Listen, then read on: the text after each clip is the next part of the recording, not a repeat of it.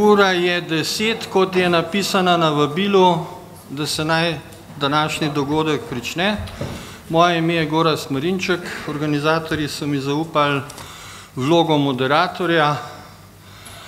Uh, dobrodošli in za začetek se seveda spodobi, uh, da nas, da damo besedo gostitelju, to je predsedniku Državnega sveta Republike Slovenije, gospodu Miti Bervarju in ga prosim, da stopi za mikrofon. Hvala.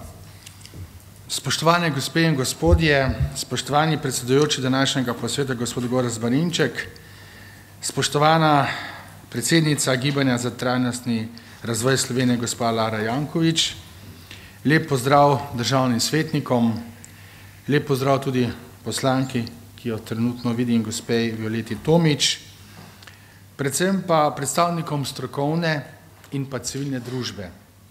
Posebej pa bi rad seveda pozdravil naše goste iz tujine. Lep pozdrav.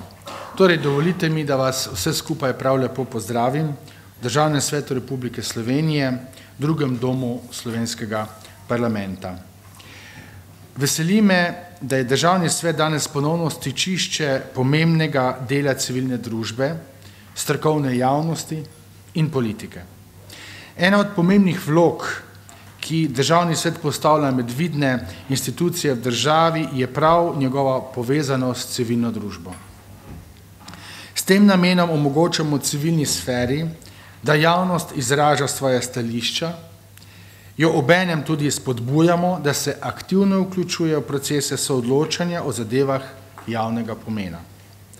Ob tem pa poskrbimo, da se na omenjene javne posvete povabijo strokovnjaki iz domačega in mednarodnega okolja, ker s svojimi različnimi, vendar strokovnimi argumenti poskrbijo za raznolikost pogleda na določeno tematiko. Junija letos je v naši dvorani že potekala konferenca in sicer zelo odmeva, odmevna, to je prva nacionalna konferenca o industrijski konoplji.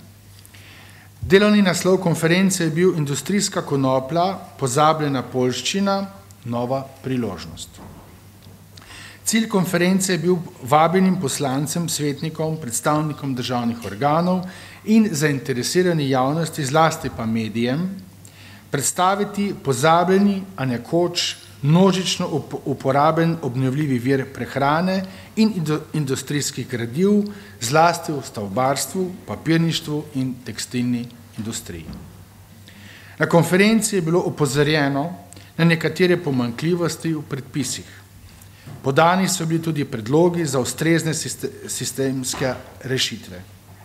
A iz civilne družbe je bilo slišati kritične pripombe, da ni na, konferen na konferenci zapostavljen endokanabionaidni vidik. Zato današnji posvet vidim predvsem v luči nadaljevanja junijske konference s podarkom na področju rabe konople v medicinske namene, ki jo bo v prihodnje prav tako treba zakonsko ustrezno urediti, seveda pa v duhu nadzorovane in primerne uporabe.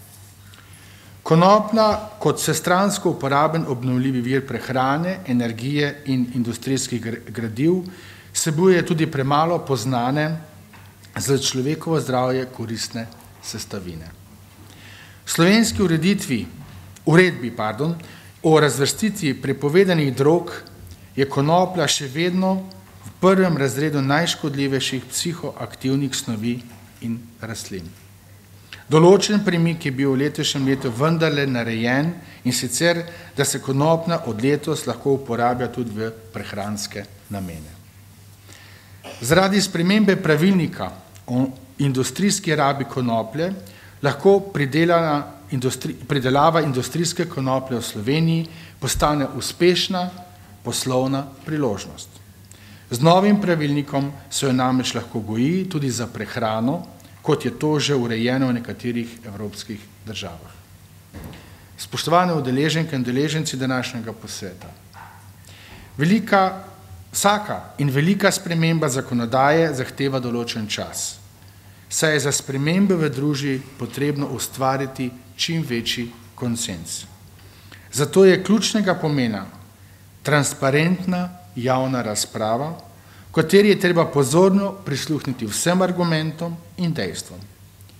Verjamem, da bo tudi današnji posvet, posvet prispeval k odstiranju tabujev, ki v marsičem onemogočajo racionalno razpravo o problematiki, v kateri javnosti pričakuje bolj jasne odgovore stroke in politike. Torej, vsem skupaj želim strokovno, prijetno druženje in pa izmenjave mnenj, ki jo danes tudi nekako pričakujemo. Tako mi, kot tudi javnost. Hvala lepa.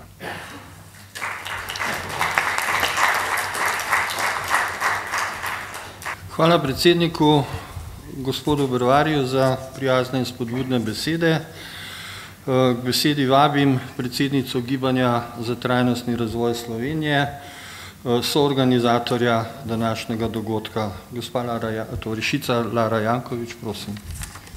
Gospe in gospodje, prav lep pozdrav tudi v imenu Gibanja za trajnostni razvoj Slovenije in seveda hvala predsedniku Državnega sveta, gospodu Miti Brvarju, za te tehtne in seveda prijazne besede. Naše gibanje za trajnostni razvoj se zauzema za tako imenovani zeleni razvojni preboj za zeleno in krožno gospodarstvo. Vsemu naštetemu so za izhodišče krajevni obnovljivi viri, tako prehranski kot energijski. Naše bivanje in odtis v okolju moramo prilagoditi nosilnim zmogljivostim planeta. Posledice preseganja nosilnih zmogljivosti planeta občutimo v različnih oblikah podnebnih sprememb, žal največkrat s katastrofalnimi posledicami. Rastlina konoplja je čudovit naravni obnovljivi vir tako energije kot hrane. Uporabna je za preko petdeset tisoč izdelkov. Z njo lahko nadomestimo marsikaj, kar sicer pridobivamo iz nafte in drugih fosilnih virov, s katerimi obremenjujemo samočistilne zmogljivosti našega naravnega okolja. Konoplja je ogljično nevtralna, neskončnokrat obnovljivi vir in kot že povedano, vsestransko uporabna. Naj samo omenim, da konopljino seme vsebuje večji odstotek kvalitetnejših beljakovin kot goveje meso in le-to pri presnovi v človeškem telesu, le-te, oprostite, pri presnovi v človeškem telesu puščajo manj škodljivih snovi in manj obremenjujejo notranje organe.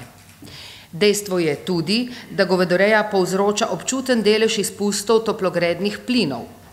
No, mogoče sem malo zašla iz osrednje rdeče niti današnjega posveta, ampak ne bo nam škodilo imeti v spominu, da lahko s konopljo pomembno izboljšamo prehranske navade v prid našega zdravja in vsekakor v prid zdravja našega planeta.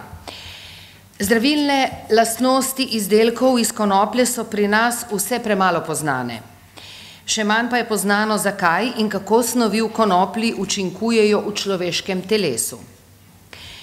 Zato je današnji posvet namenjen širši javnosti in prav prisrčno pozdravljam in se že vnaprej zahvaljujem govorkam in govorcem ter razpravljavcem za njihove ustvarjalne prispevke in seveda se zahvaljujem, da so se tako lepo in prijazno odzvali našemu povabilu.